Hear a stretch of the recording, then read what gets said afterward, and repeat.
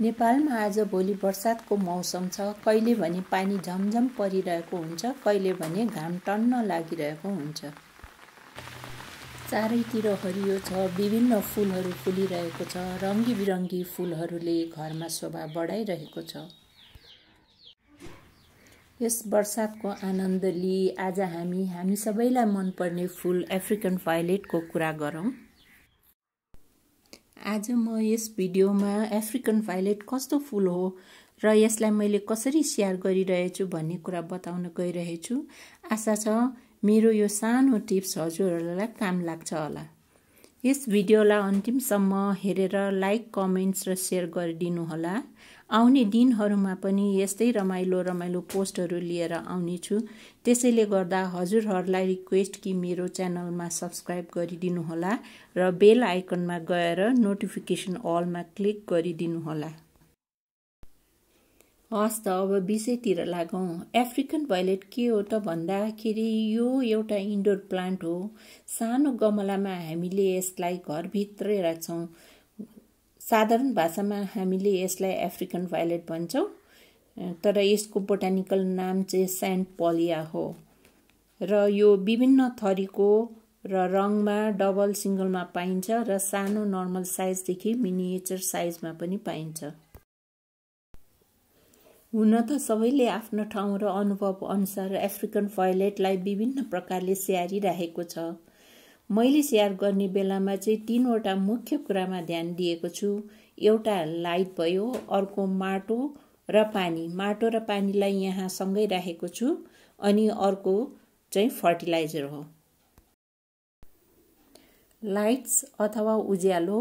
African भाइलेटलाई light कस्तो चाहिन्छ भन्दाखेरि यसलाई डाइरेक्ट घाम पर्ने ठाउँमा राख्नु हुँदैन तर उज्यालो भने चाहिन्छ।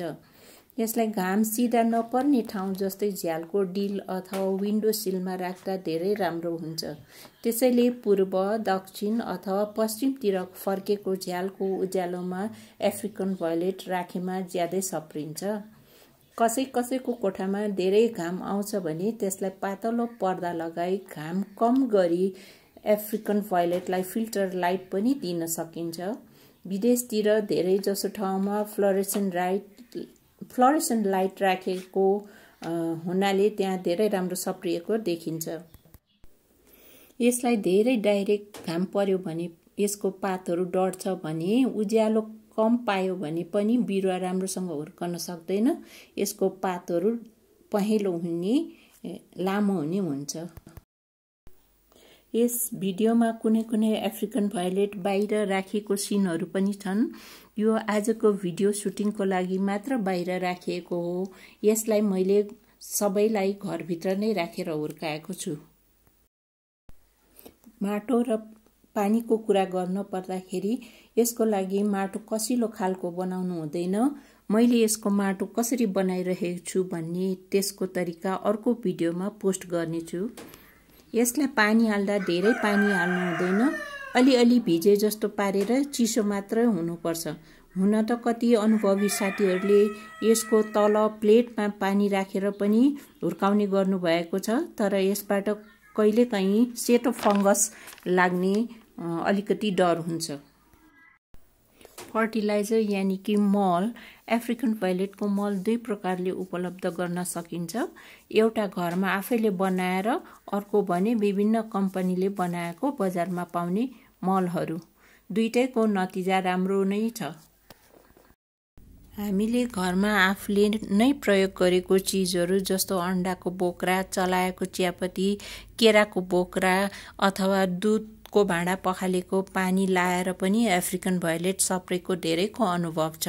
त्यसैले आफूसँग भएको त्यस्तो चिजहरूलाई मलको रूपमा प्रयोग गरौँ। बजारमा विशेष गरी विदेशतिर कमर्सियल फर्टिलाइजर धेरै पाइन्छ। यो फर्टिलाइजर मेरो आफन्तले ल्याइदिनु भएको हो।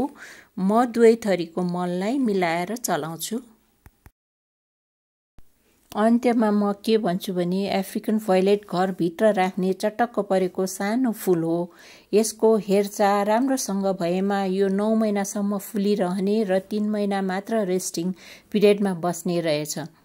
आशा छ हजुरहरूले पनि यस्तै राम्रोसँग स्याहारी अफ्रिकन भाइलेटको आनन्द लिनुहुनेछ। यस भिडियोलाई अन्त्यसम्म हेरिदिनु भएकोमा धन्यवाद। हजुरहरूको दिन शुभ रहोस्।